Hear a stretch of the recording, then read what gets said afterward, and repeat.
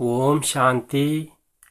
மூன்று ஏப்ரல் இரண்டாயிரத்தி இருபது இன்றைக்கான காலை முரளியில் நமது சிவ தந்தை கூறுகின்றார் இனிமையான குழந்தைகளே தனது மனநிலையை பாருங்கள்.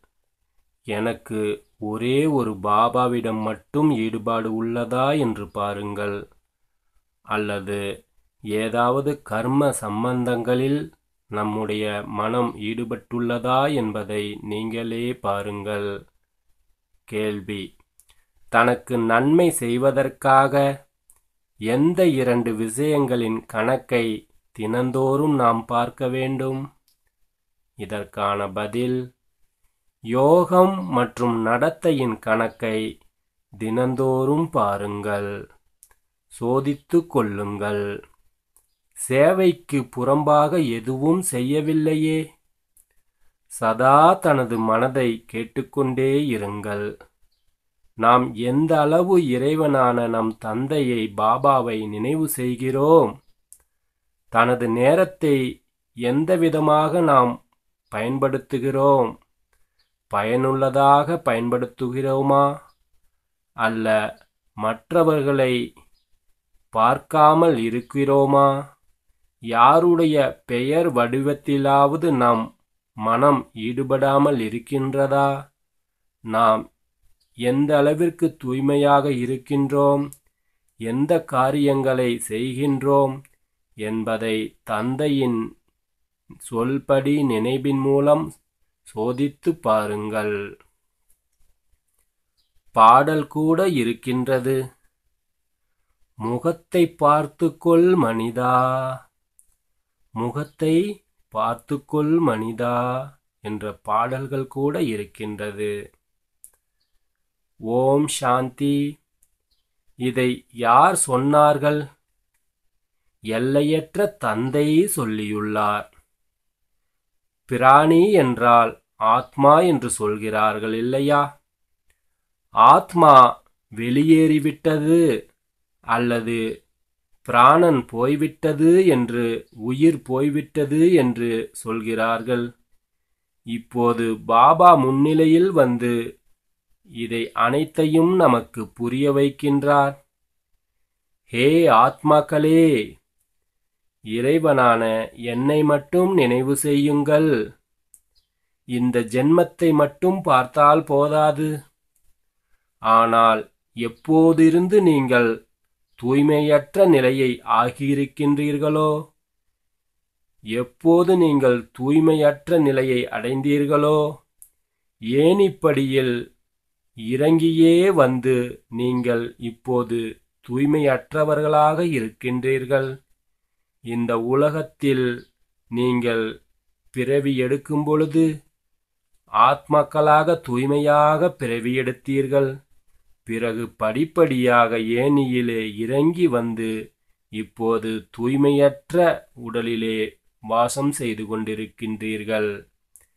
நிச்சயமாக பாவங்கள் செய்திருக்கின்றீர்கள். இப்போது புரிந்து கொள்ள வேண்டிய விஷயங்களாகும். எத்தனை ஜென்மம் ஜென்மமாக நீங்கள் பாவங்களை செய்து கொண்டே வந்திருக்கின்றீர்கள்.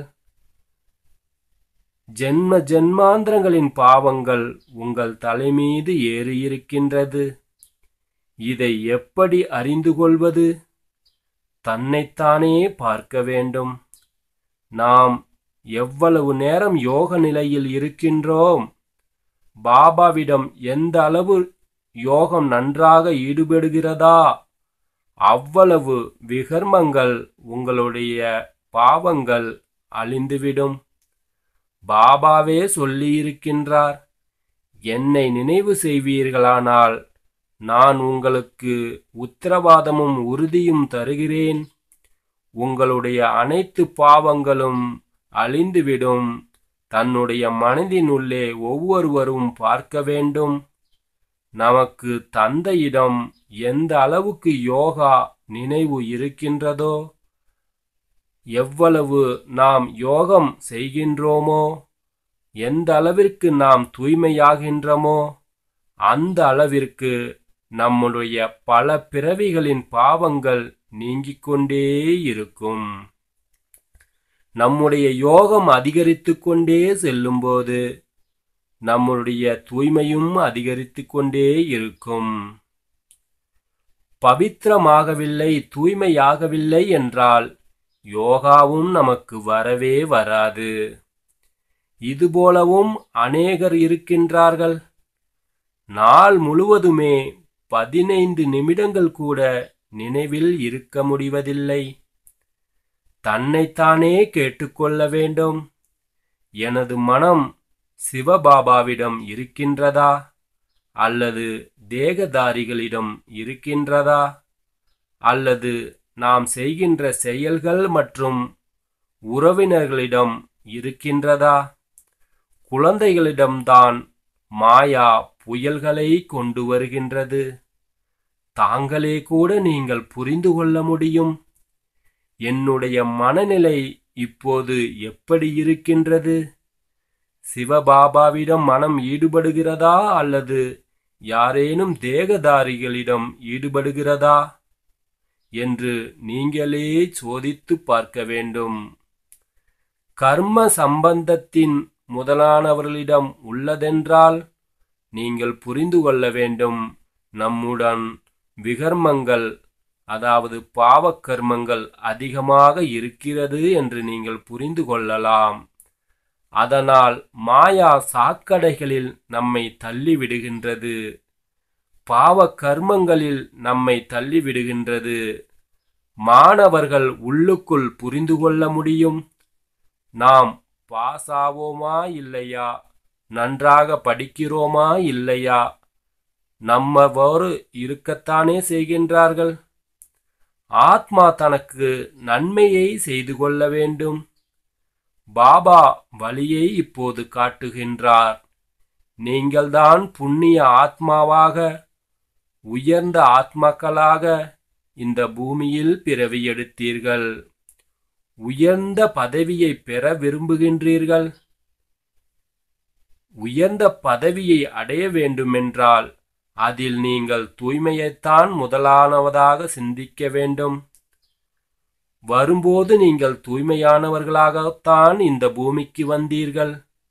இப்போது திரும்பி நாம் போகும்போதும் தூய்மையானவர்களாகத்தான் போக வேண்டும். தூய்மையற்றவர்கள் ஒருபோதும் சாந்திதாமத்திற்கு போகவும் முடியாது. உயர்ந்த பதவிகளையும் பெற முடியாது. சதா தனது மனதை கேட்டுக்கொண்டே இருக்க வேண்டும். நாம் எந்த அளவிற்கு இறை தந்தையான சிவனை நாம் நினைவு செய்கின்றோம்? நாம் என்ன செய்கின்றோம்? இல்லையெனில் நிச்சயம் பின்னால் அமர்ந்துள்ள மாணவர்களுக்கு மனதுக்குள் அரித்து கொண்டே இருக்கும். உயர்ந்த பதவி பெறுவதற்காகவே முயற்சிகளை செய்கின்றார்கள். ஆனால் அதற்கேற்ற நடத்தைகளும் இருக்க வேண்டும். ஒரே ஒரு பாபாவை நினைவு செய்து தனது தலைமீதுள்ள அனைத்து பாவங்களின் சுமைகளை இறக்கி வைக்க வேண்டும். நினைவிலாலன்றி நினைக்காத வரை இறைவனை நாம் நினைக்காத வரை பாவங்களின் சுமையை நம்மால் இறக்கி வைக்க முடியாது. ஆக எவ்வளவு பாபாவிடம் நினைவின் ஈடுபாடு இருக்கின்றதோ அந்த அளவிற்கு நாம் உயர்ந்த பதவியை நாம் அடைய முடியும்.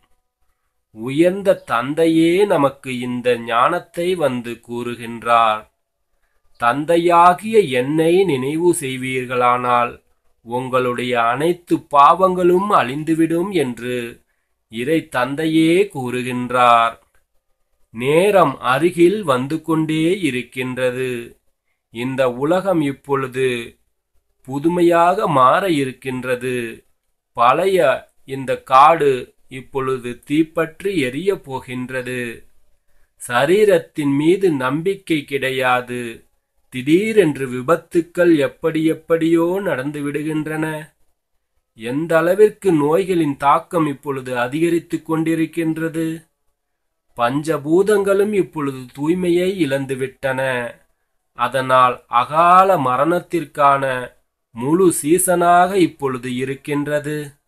ஆக ஒவ்வொருவரும் தன்னை சோதித்துக்கொண்டே இருங்கள். இந்த உலகம் அழியப் போகின்றது என்பதை அனைத்து தர்மத்தினரும் இப்போது அறிந்திருக்கின்றார்கள். தனக்கு நன்மை செய்து கொள்ள வேண்டும். முழு நாளின் கண்களை முழு நாள்களின் கணக்கை நீங்கள் பார்க்க வேண்டும். யோகம் மற்றும் நடத்தைகளை பற்றி நாம் முழு நாளும் முழுவதிலும் எவ்வளவு பாவங்கள் செய்தோம் மனம் மற்றும் சொல்லினால் முதலில் வருகின்றன. பிறகு செயலில் வருகின்றது. இப்போது குழந்தைகளுக்கு சரியான புத்தியும் ஞானமும் கிடைத்திருக்கின்றது. அதாவது நாம் நல்ல காரியங்களை செய்ய வேண்டும். யாரையாவது ஏமாற்றாமல் இருக்கின்றோமா? தவறான பொய் சத்தியங்கள் எதுவும் பேசாமலும் செய்யாமலும் இருந்தோமா? சேவைக்கு நாம் செய்கின்ற சேவையில் ஏதாவது தவறுகள் செய்தோமா? செய்யாமல் இருக்கின்றோமா? யாரேனும் யாருடைய பெயர் வடிவத்திலாவது சிக்கிக் கொள்கின்றோமா என்றால் யக்கிய பிதாவுக்கு நிந்தனை செய்கின்றார்கள் என்பதாகும். அதனால் நாம் தந்தைக்கு தூய்மையை கற்றுக்கொண்டு தந்தையின் ஞானத்தை கேட்டு தூய்மையாக வேண்டும். இறை தந்தையே நமக்கு வந்து இந்த ஞானங்களை கூறுகின்றார். யாருக்கும் நாம் துக்கம் கொடுக்க கூடாது என்று கூறுகின்றார். ஒரே ஒரு தந்தையின் நினைவில் இருங்கள். இந்த மிக பெரியதொரு கவலை கிடைத்துள்ளது. நாம் நினைவில் இருக்க முடிவதில்லை என்றால் என்ன கதி ஏற்படும்? இந்த சமயம் நாம் கவனக்குறைவில் இருப்போமானால் பின்னால் நாம் மிகவும் வருந்த நேரிடும். இதையும் புரிந்து கொண்டிருக்கின்றீர்கள். அதாவது யார் நாடகத்தின்படி சாதாரண பதவி பெற இருக்கின்றார்களோ அவர்கள் சாதாரண பதவிதான் பெறுவார்கள். புத்தி மூலம் புரிந்து கொள்ள முடியும். நாம் என்ன செய்ய வேண்டும் என்று அனைவருக்கும் இதே மந்திரத்தை கொடுக்க வேண்டும். பாபாவை நினைவு செய்யுங்கள். லட்சியமோ குழந்தைகளுக்கு இப்போது கிடைத்திருக்கின்றது. இந்த விஷயங்களை உலகத்தினர் புரிந்து கொள்ள முடியாது. முதலாவது முக்கிய விஷயமே பாபாவை நினைவு செய்வதற்கானதாகும். படைப்பவர் மற்றும் படைப்பின் ஞானமே இப்போது கிடைத்துவிட்டது. தினந்தோறும் ஏதாவது புது புது பாயிண்டுகளும் புரிய வைப்பதற்காக தரப்பட்டு கொண்டிருக்கின்றன. எப்படி விராட ரூபத்தில் கிருஷ்ணர் சித்திரம் இருக்கின்றதோ? இதை பற்றியும் நீங்கள் புரிய வைக்க முடியும். எப்படி வர்ணங்களில் வருகின்றோம்? எப்படி நாம் பிறவி எடுத்து படிப்படியாக நம்முடைய கலைகளை இழக்கின்றோம்? இதுவும் ஏணிப்படியின் சித்திரத்திற்கு அருகில் வைப்பதற்கான சித்திரங்கள் ஆகும். நாள் முழுவதும் நம்முடைய புத்தியில் இதே சிந்தனைதான் இருக்க வேண்டும். யாருக்கு எப்படி புரிய வைப்பது? யாருக்கு எப்படி சேவை செய்வது? முழு நாளும் இறைவனின் தந்தையின் நினைவின் மூலம் நாம் சேவைகளை செய்ய வேண்டும். பாபாவின் நினைவினால்தான் நம்முடைய பாவங்கள் அழியும். தனக்கு நன்மை செய்து கொள்ள வேண்டும். பிறருக்கும் நன்மையை செய்விக்க வேண்டும் என்று பாபா புரிய வைக்கின்றார்.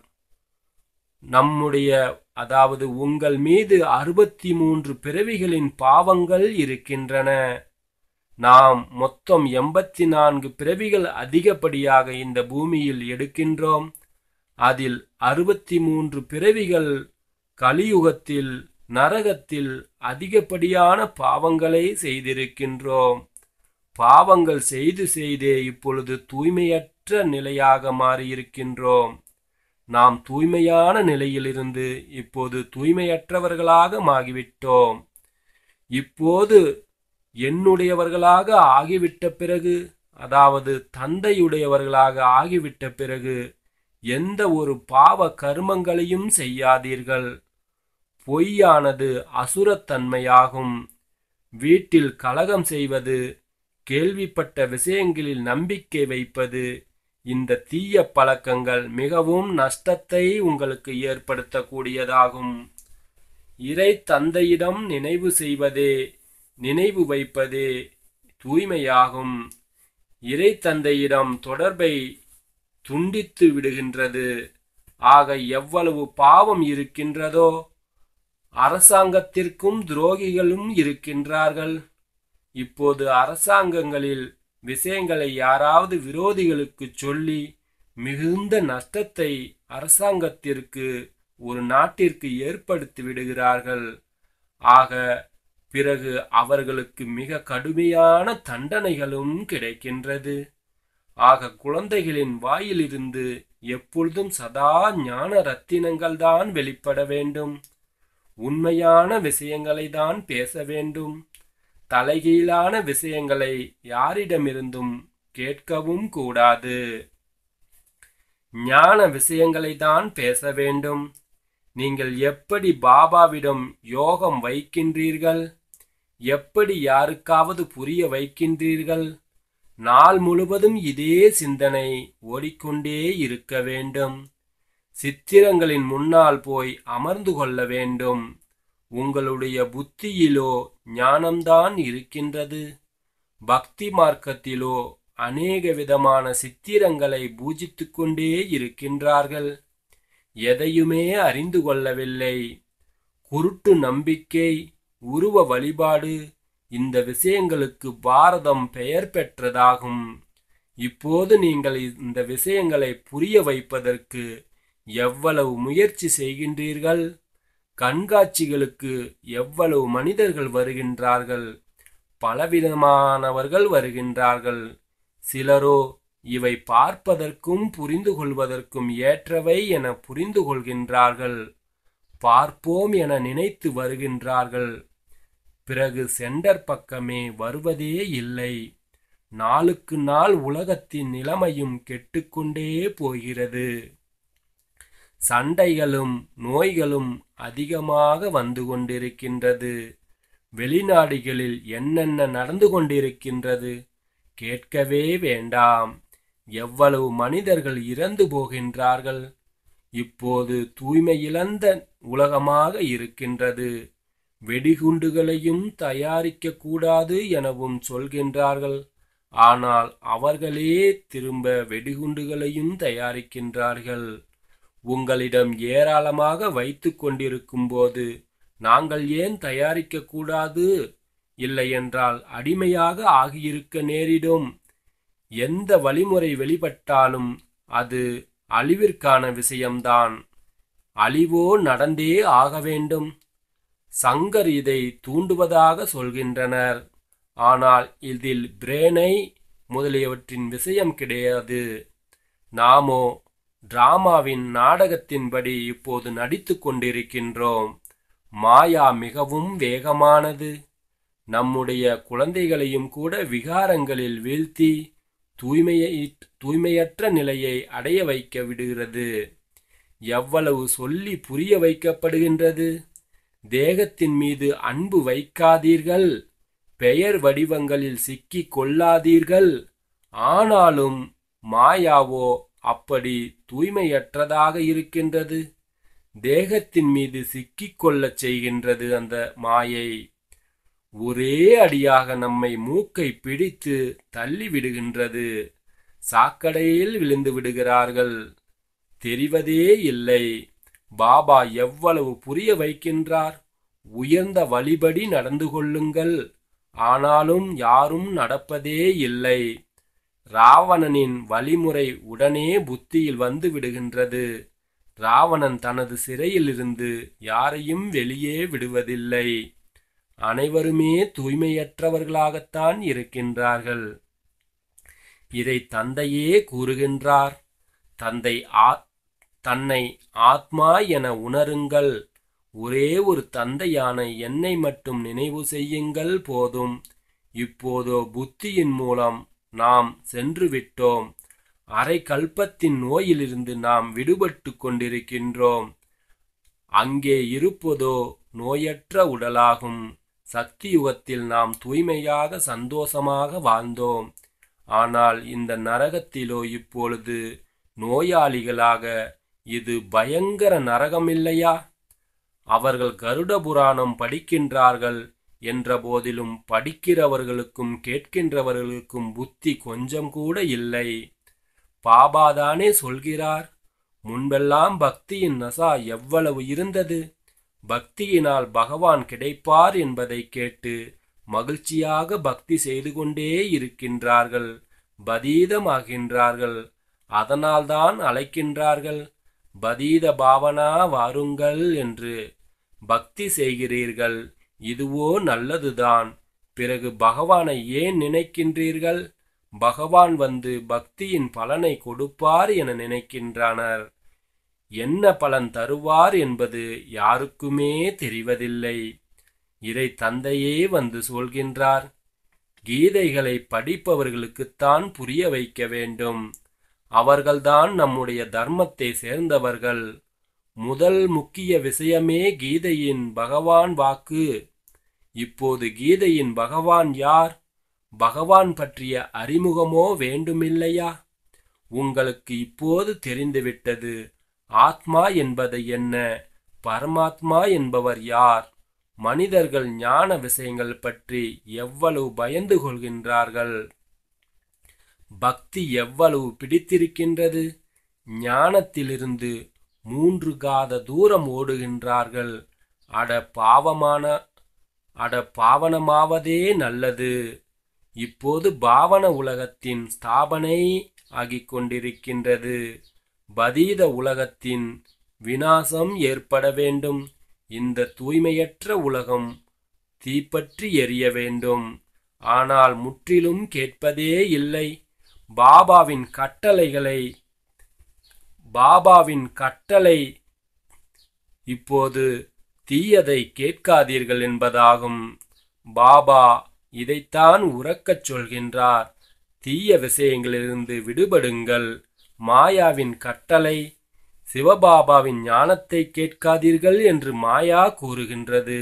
நீங்கள் மாயாவின் சொல்படி கேட்டீர்கள் என்றால் அதனால் துக்கத்தை தான் அடைவீர்கள். தந்தையின் சொல்படி கேளுங்கள். அப்படி வேகமாக மாயா அடி கொடுத்து விடுகின்றது. உங்களுடைய புத்தியில் ஞானங்கள் நிற்பதே இல்லை. பாபாவை நினைவு செய்ய முடிவதில்லை. உற்றார் உறவினர் தேகதாரிகளின் நினைவு வந்து கொண்டே இருக்கின்றது. பாபாவின் கட்டளைகளை நீங்கள் மதிப்பதில்லை. இறை தந்தையே சொல்கிறார் என்னை மட்டும் நினைவு செய்யுங்கள் என்று பிறகு கட்டளைகளுக்கு கீழ்ப்படியாதவர்களாக சொல்கின்றனர். எங்களுக்கு இன்னார் நினைவு வருகின்றது என்று நினைவு வந்தால் கீழே விழுந்து விடுகிறார்கள். இந்த விஷயங்களிலோ வெறுப்பு வர வேண்டும். இது முற்றிலும் மோசமான உலகமாகும். நமக்காகவோ புதிய உலகம் சக்தி யுகம் உருவாகி கொண்டிருக்கின்றது. குழந்தைகளாகிய உங்களுக்கு பாபாவின் மற்றும் சிருஷ்டி சக்கரத்தின் அறிமுகம் கிடைத்திருக்கிறது என்றால் அந்த படிப்பிலேயே ஈடுபட்டு விட வேண்டும்.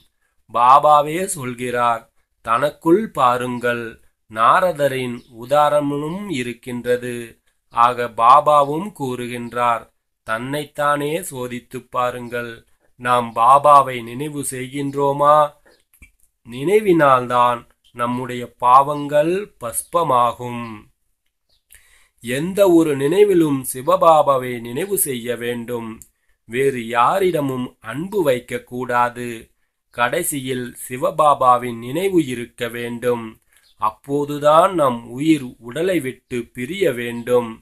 சிவபாபாவை நினைத்து கொண்டுதான் நம்முடைய உயிர் இந்த உடலை விட்டு பிரிய வேண்டும். உடலை விட்டு உயிர் பிரிகின்ற போது யாருடைய நினைவும் வரக்கூடாது. அதற்கு இப்போது இருந்தே நாம் தயார்படுத்திக் கொள்ள வேண்டும். நம்முடைய பாவங்கள் அனைத்தையும் இறைவனின் நினைவிலிருந்து எரிக்க வேண்டும். சிவபாபாவின் நினைவு இருக்க வேண்டும். சுயதரிசன சக்கரத்தின் ஞானமும் நமது சமஸ்காரத்தில் இருக்க வேண்டும். சுயதரிசன சக்கரதாரி யார் என்பதும் யாருக்குமே இப்போது தெரியாது. பிராமணர்களுக்கு இந்த ஞானத்தை யார் கொடுத்தார்?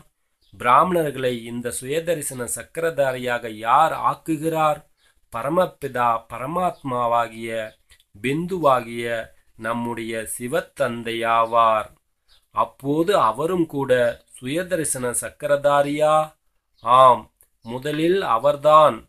இல்லையென்றால் பிராமணர்களாகிய நம்மை அதுபோல் யார் ஆக்குவார் படைப்பு முழுவதின் முதல் இடை கடை பற்றிய ஞானம் நம் இறைவனிடம் மட்டும்தான் இருக்கின்றது.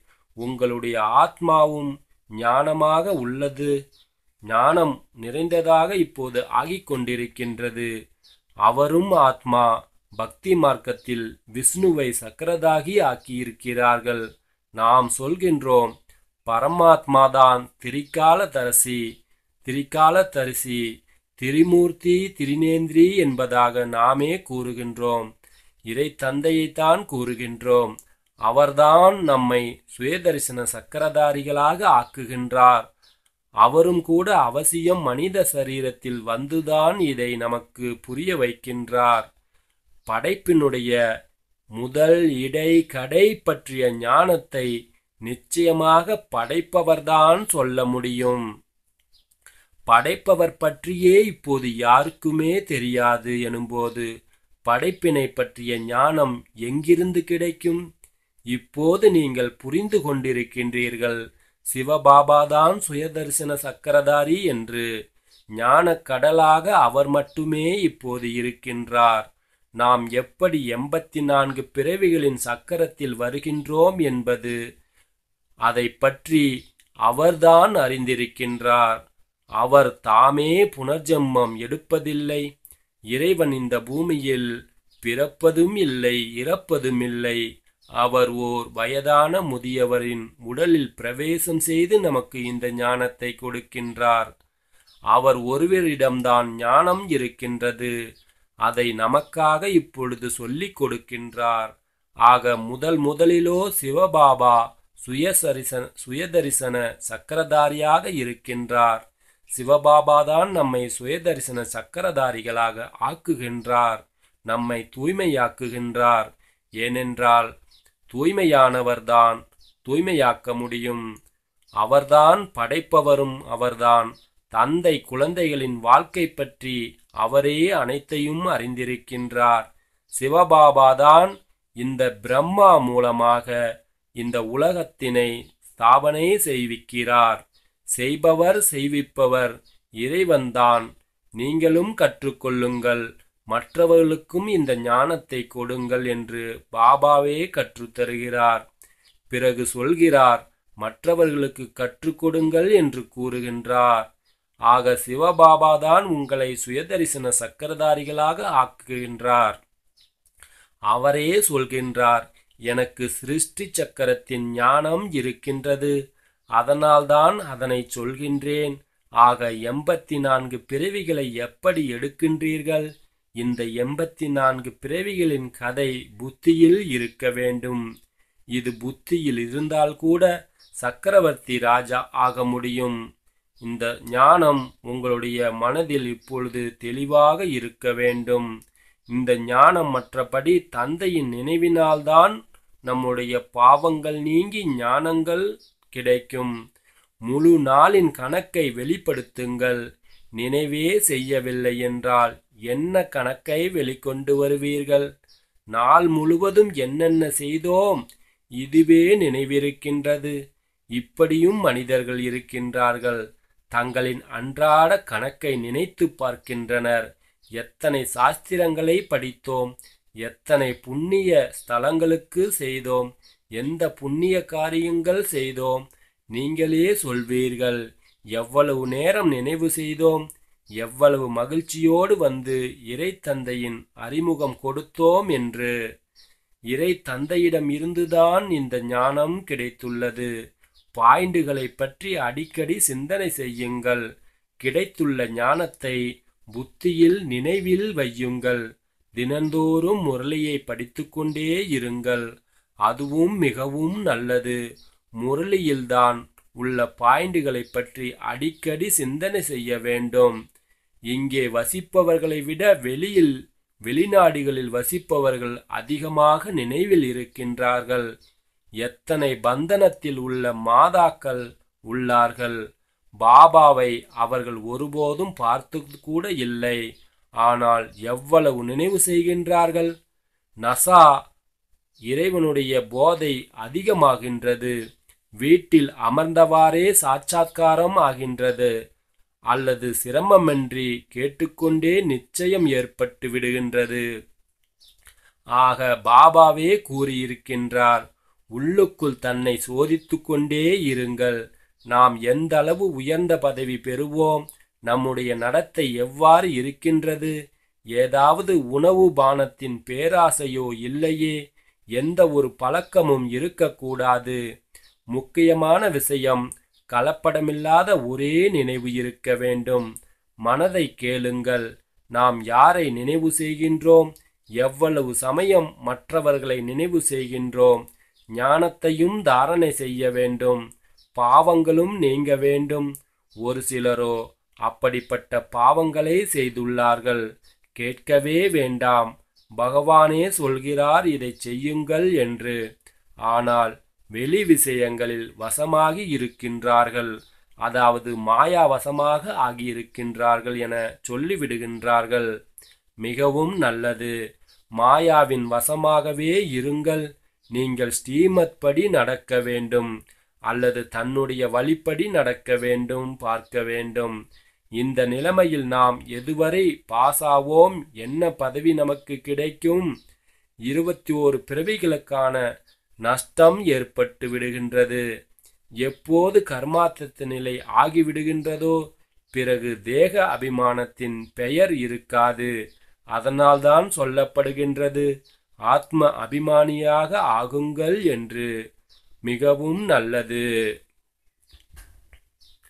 இனிமையிலும் இனிமையான தேடி கண்டெடுக்கப்பட்ட செல்ல குழந்தைகளுக்கு தாயும் தந்தையுமாகிய பாப்தாதாவின் அன்பு நினைவுகள் மற்றும் காலை வணக்கங்கள். ஆன்மீக குழந்தைகளுக்கு ஆன்மீக தந்தையின் நமஸ்காரங்கள். தாரணைக்கான முக்கிய சாரம் தாரணைக்கான முக்கிய சாரத்தை இப்போது பார்ப்போம். முதலாவதாக யக்கிய பிதாவின் பெயர் கேட்டு போகிற மாதிரி எந்த ஒரு காரியத்தையும் செய்துவிடக்கூடாது பாபாவிடம் கிடைத்துள்ள சரியான புத்தி மூலம் நல்ல கர்மங்களே செய்ய வேண்டும். யாருக்கும் துக்கம் கொடுக்க கூடாது. இரண்டாவதாக ஒருவர் மற்றவரிடமிருந்து வேண்டாத தலைகீழான தகவல் தகவல்கள் எதையும் கேட்கக்கூடாது தங்களுக்குள் ஞான விஷயங்களை மட்டுமே பேசிக்கொள்ள வேண்டும். பொய் அசுரத்தன்மை வீட்டை இரண்டுபடச் செய்யும் பேச்சுக்கள் இவை அனைத்தையும் விட்டுவிட்டு வாயின் மூலம் சதா ஞான ரத்தினங்களையே வெளிப்படுத்த வேண்டும். தீய விஷயங்களை கேட்கவும் கூடாது பேசவும் கூடாது. வரதானம். மகிழ்ச்சி என்ற குசி என்ற அழிவற்ற பொக்கிசத்தினால் நிறைந்திருக்கும் கவலையற்ற சக்கரவர்த்திகளாக ஆகுங்கள். குசியின் கடலான பாபாவின் மூலம் தினமும் அழிவற்ற குசியின் பொக்கிசங்கள் கிடைத்து கொண்டிருக்கின்றது. ஆகையால் எந்த ஒரு பிரச்சனைகளிலும் குசி மறைந்துவிட முடியாது. எந்த ஒரு விஷயத்திற்கும் கவலை கொள்ளவும் முடியாது. சொத்து என்னவாகும் குடும்பம் என்னவாகும் என்ற கவலை இருக்காது. மாற்றம் ஏற்பட்டே தீரும். பழைய உலகில் எவ்வளவுதான் உயர்ந்ததாக இருந்தாலும் அனைத்தும் பழையதுதான். ஆகையால் கவலையற்றவர்களாக ஆகிவிட்டீர்கள். எது நடைபெறுமோ அது நன்றாகவே நடைபெறும். பிராமணர்களுக்கு அனைத்தும் நன்மைக்கே. எதிலுமே தீங்கு கிடையாது. உங்களிடத்தில் அப்படிப்பட்ட ஒரு ராஜ்யம் இருக்கின்றது. அதை யாராலுமே அபகரிக்க முடியாது. ஸ்லோகன் இந்த உலகம் ஒரே ஒரு அலௌகீக விளையாட்டு மற்றும் பிரச்சனைகள் விளையாட்டு பொருள் என்று ஏற்றுக்கொண்டு நடப்பீர்களெனில் ஒருபோதும் நிராசை அடைய மாட்டீர்கள். ஓம் சாந்தி.